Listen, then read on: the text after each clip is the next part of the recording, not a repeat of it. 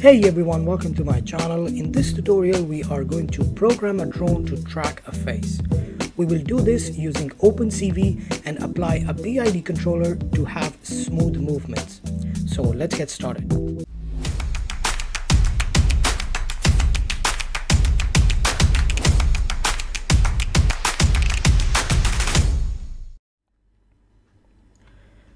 So in the previous videos, we have initialized our Tello drone and then we got the frame from it. And then we found the different faces within our images and we sent the uh, information or we returned the information of the closest one in this list uh, which we called info. And you can see here using that info uh, zero element and then again zero we are getting the cx value which is the center x which will allow us to rotate based on our uh, face which will do all the tracking. Now this will fluctuate a lot so we will add this value to a PID controller and that will help us smoothen out this uh, what do you call tracking algorithm. So what we will do is we will go back to our utilities and within the utilities as you can see we have the initialize drone and then we have tello get frame and then we have find face and now we are going to add the track face. So we will write here track face and this will need the my drone object and then it will need the info that we are going to uh, receive from our face. And then we are going to write here width and then we have the PID parameters and then we have the error. Now I will explain what these are uh, as we go along so let's just write that down. And the first thing we will do is we will find the error between our actual value and where we should be. So our actual value is basically width divided by 2 so that means that for example if we have uh, 640 then our act uh, our mid middle value is basically 3 uh, 320 so this means that our position should always be 320 if we are tracking the object properly. So this means that whenever it's above uh, what do you call the value is above 320 then we have a positive error and whenever we have it below uh, 320 then we have a negative error so whatever value we are getting so we are getting for example cx we will subtract it from 320 so that 320 will give us the error. So this will be our error. So we are going to write it in a better way. So we will write here error is equals to cx is basically the info at element 0 and then again element 0 so this is cx and then we will write minus width divided by 2 so whatever the width we are changing over here it will automatically affect that. So we don't have to write it again and again. So this will give us the error. Now here we are basically doing the PID controller. Now if you're not familiar with PID controllers I would highly recommend that you go out and check a video. There's a lot of videos on YouTube that explain this very well. So I will not go into the detail of uh, what it does and how it works but to give you a brief idea PID is basically there to help you out in uh, smoothing your transitions. So basically when your drone is moving you want it to move smoothly not uh, just going back and forth. The oscillations should not be very aggressive. So to reduce those we are going to use PID then we will write the equation of our PID so what we are controlling in PID is the speed. So here we are going to write speed and as you know PID is basically you have to multiply your KP multiplied by your error.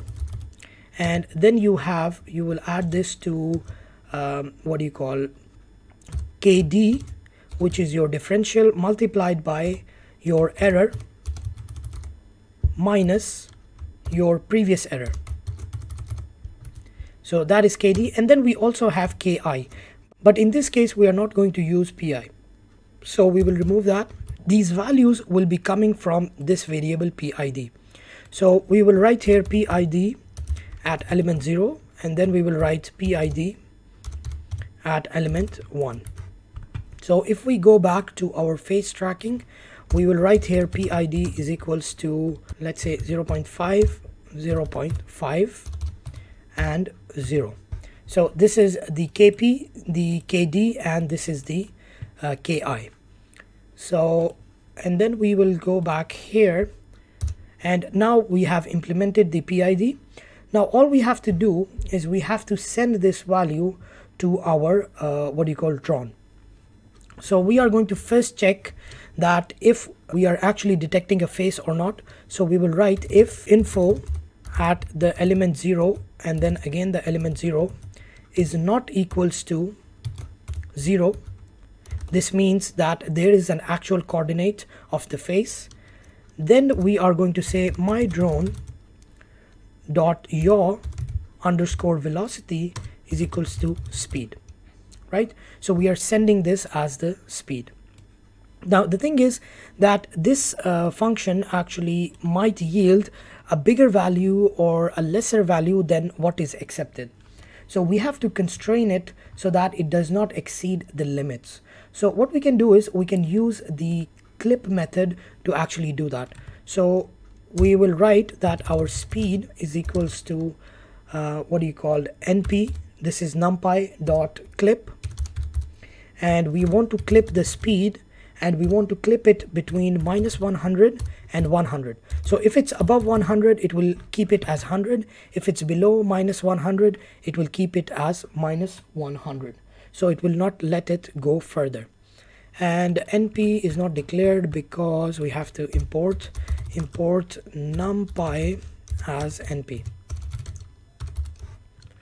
so if we go back here and there you go. So this will always make sure that the speed is in between and then we can send the speed and if that is not the case else we are going to put all the velocities to zero. So where are the velocities? We wrote them here. I will copy all of these. Oh I want to copy. Uh, copy all of these and we will paste it here. So we will put all of them as zero and then we will also put the error is equals to zero and the last thing we have to do is we have to return this value of error because this will be the previous error next time we do the calculation. So we will write here return error. Okay? And that should be good. So if we go back and here we are going to go to step number three. Step number three. And then here we will write that our previous error is equals to uh, what was the name of the function? Track face. Track face. And then we are going to write my drone. And then we will write info. And then we will write the width. And then the PID and then the previous error. Now we can declare this previous error here. And we can put this as zero and yeah that should be enough. And then we will go back to our utilities. And here we will do the last step which is basically to send the value to our drone. Now here we are not actually sending we are just setting the value. Now we have to send it. So here we are going to write that if my drone dot send underscore rc underscore control then we are going to send my drone dot send rc control and we will write here my drone uh, my drone dot left right velocity left underscore right underscore velocity. Uh, then we are going to write forward and backwards and then we will write up and down and then we will write the yaw velocity.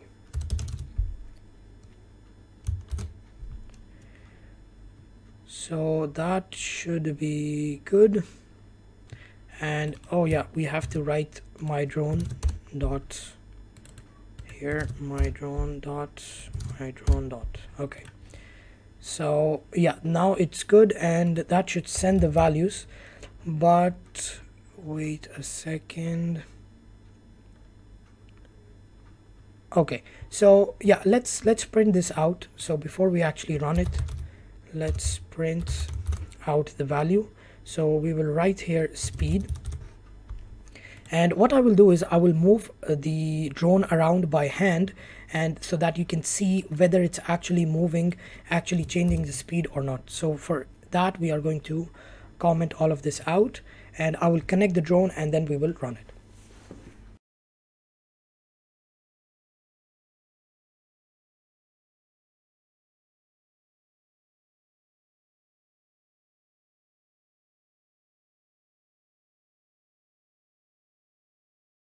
so as you can see this value of the speed changes as we move around uh, when the face moves around in the image. So now what we can do is we can uh, uncomment this so that the values are sent. And one more thing that we have to do is we have to tell the drone to actually take off. Because so far it's on the ground and it's not really running. The thing that we are sending here is only the yaw velocity and we did not actually tell it to go up. So what we will do is we will go to our face tracking and over here we are going to write uh, over here that the the initial step is basically to fly. So flight and here we will write if start counter is equals to 0 then we are going to write my drone dot takeoff and we will write start counter is equals to 1 and we are going to write it here. Start counter is 0 now if you want to just test the drone for no flight put this as 1 and for flight put this as 0 so now we have put it as 0 and it is going to take off and then it will go and it will start doing all of this. So hopefully it will work out well. So I will uh, grab the uh, image of the face and I will move it around so we can see how it performs.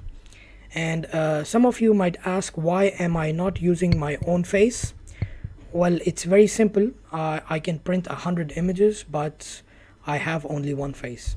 So that's why we will be using an image. Okay so we are getting an error and one thing I forgot to do is that we have to convert it into integer. When we are using the clip method here we have to convert this into integer. So we will put this as integer and now it should work fine. So let's run it again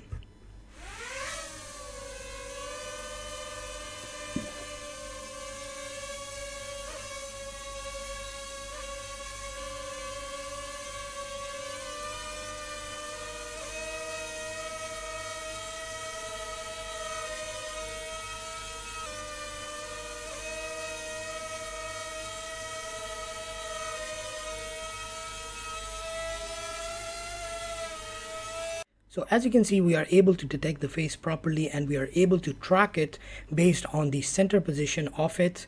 And you can see the movement is not very jerky. And you can, of course, smoothen it more by going here and changing the values over here. This is just some random values I tried a few times and then these are the ones I found a little bit better. But of course there's a lot of room for improvement. You can change these and get much better results. Now uh, you might ask how can we uh, move the drone forwards and backwards? This is just about rotation. Now the forwards and backwards is pretty much the same thing for that I'm not doing this right now because I'm in indoor environment and it's a little bit dangerous. But if you want to uh, do the forward and backward it will run as well. So all you have to do is you have to add another PID so you have to repeat these three lines of code.